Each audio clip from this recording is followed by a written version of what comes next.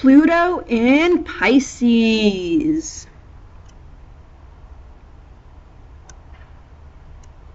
With Pluto in Pisces so in tune, other people are often around you.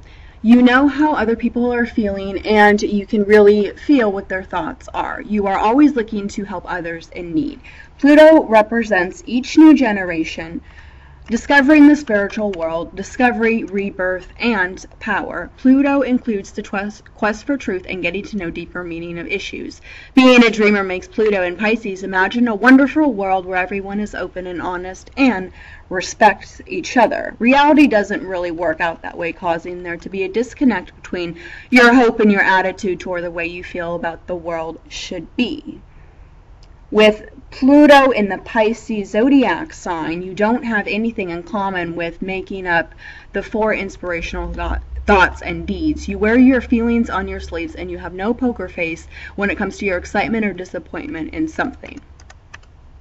When you love something, your positive energy is infectious and you can get other people up and moving. Your efforts can start movements if you are passionate enough about a social issue. You often help others down the path of spiritual growth and enlightenment with your own inspiring actions. Pluto in Pisces is able to go with the flow and even embrace change, especially if it means shifting something from bad to good.